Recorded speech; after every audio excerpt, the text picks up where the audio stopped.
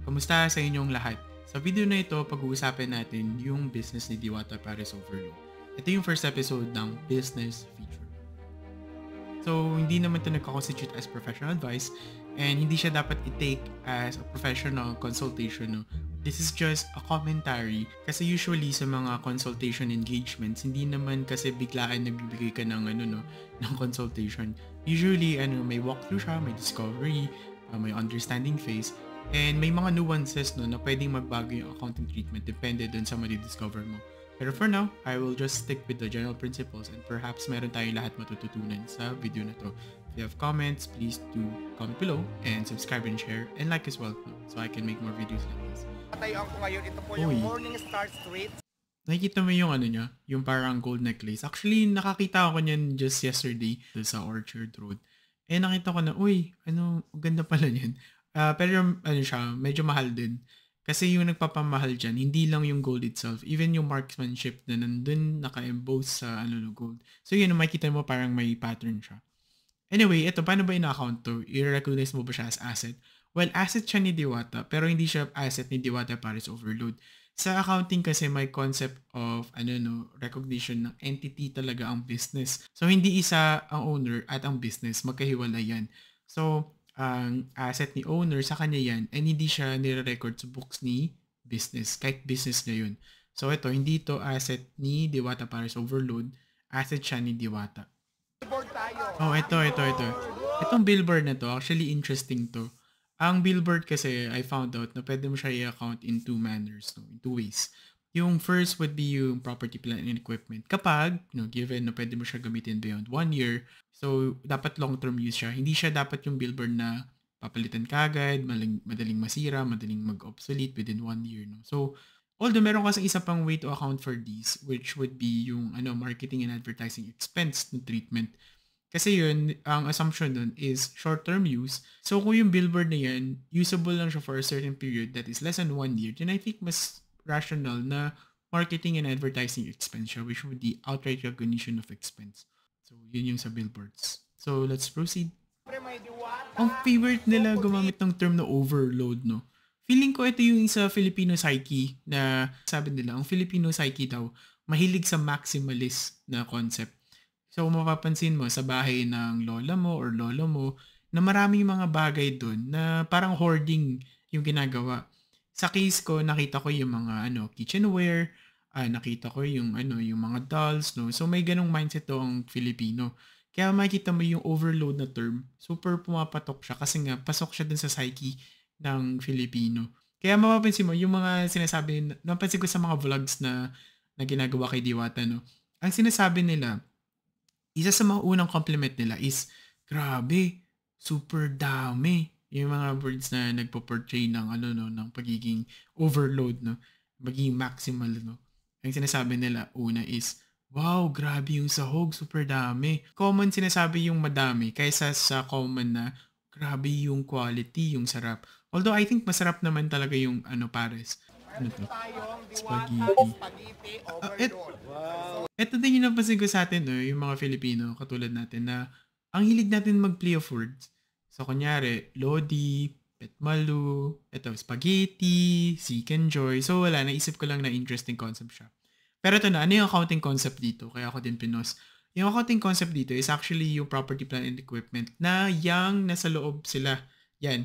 Yang, yang ano na yan, yung stall na yan, pwede mo i-consider yan as property, plant, and equipment account. Kasi, ginagamit mo siya sa, ano no, long-term operations ng business.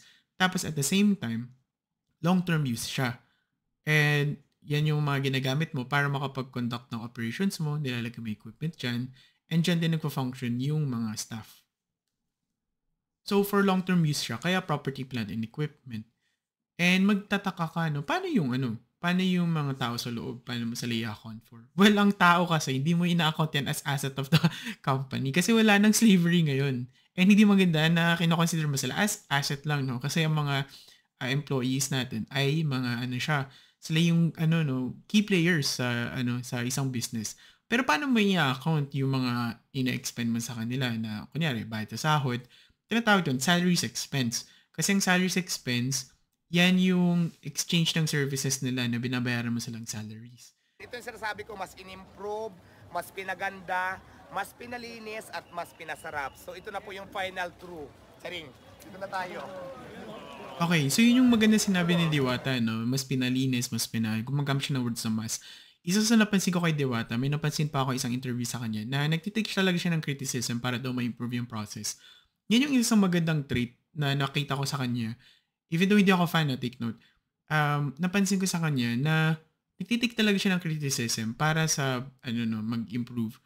Magandang attitude yun, lalo na kung ikaw ay isang, ano no, employee or even business owner. Kasi, at the end of the day, kailangan mo mag-adjust eh. Kailangan mo matuto from your ano shortcomings even sa mga napapansin na criticism ng tao from you. Important na nag-aano ka eh, na nag-adapt ka din. So, let's proceed.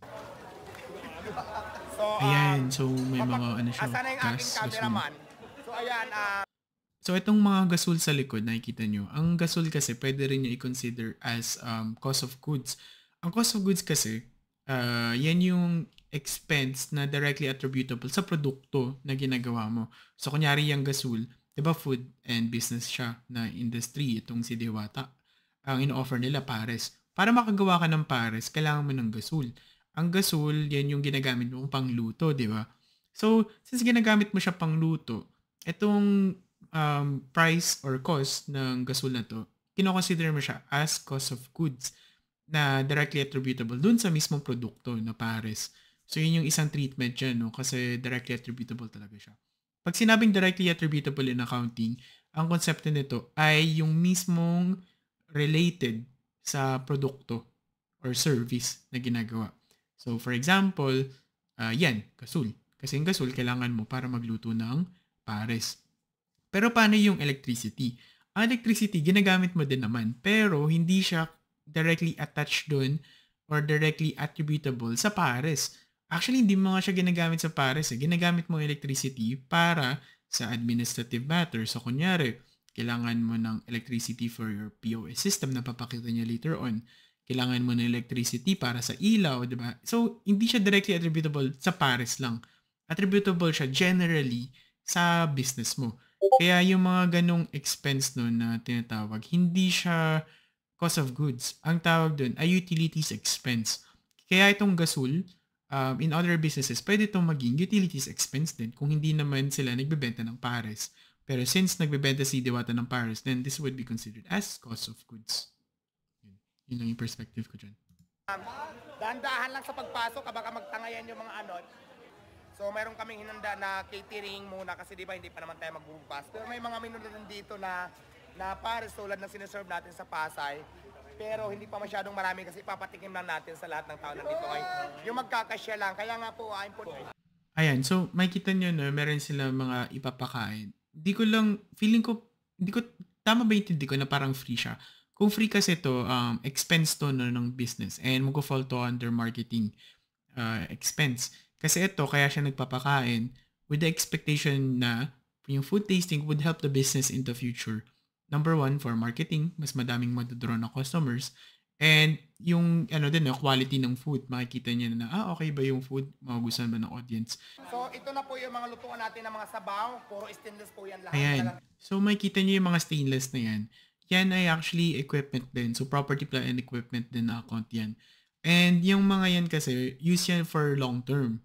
So, kanina may sinabi ako no, na hala, kala ko ano, kala ko expense, marketing expense. Well, yung marketing expense, yung papakain niya, yung nasa loob na equipment. Pero yung mismo equipment na ginagamit, ano yan? Equipment yan. Property plant and equipment. So, yung mga kaldero, yung mga stove, yung mga fryer, for long-term use yan.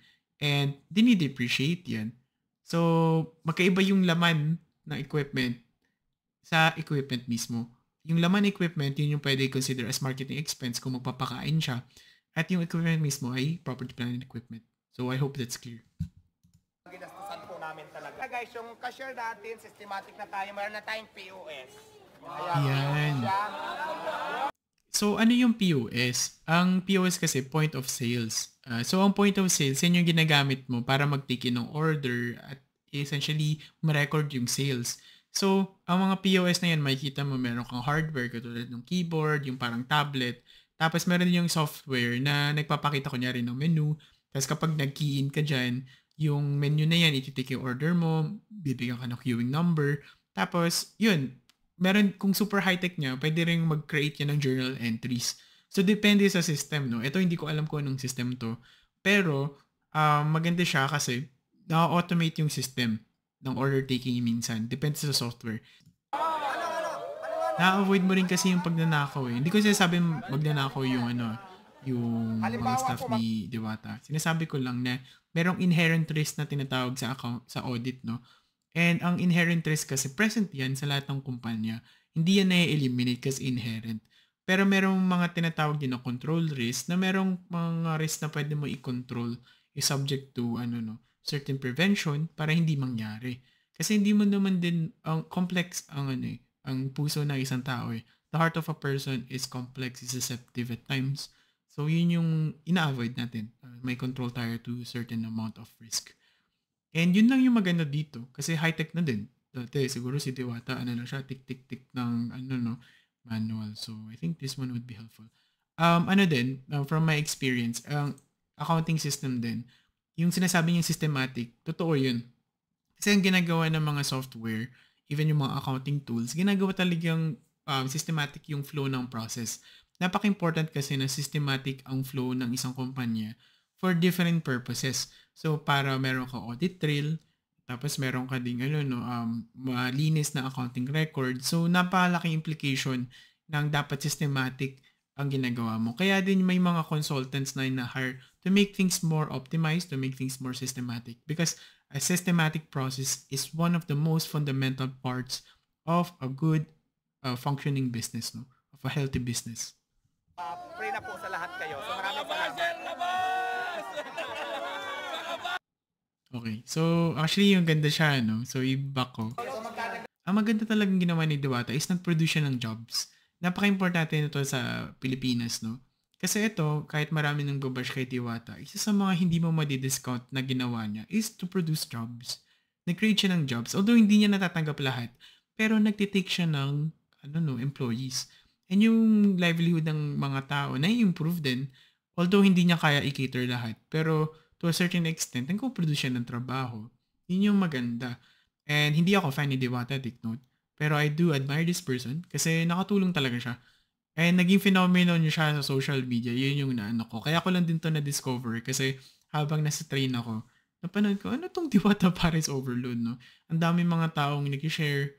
Tapos, ano, sa partner siya ng conversations, even sa colleague ko, na may mention din yung Diwata Paris Overload, which I think is good. Kasi even dito sa Singapore, nakakaabot to si Diwata. So, yun yung feature natin kay Diwata Paris Overload. If you have questions or comments or thoughts, write it below in the comment section. And if meron kayong gusto pa feature sa akin sa business feature, kindly comment the link as well and let me know for your thoughts. Salamat sa inyo lahat and I pray na okay kayo lahat. So bye bye everyone. See you in our next video.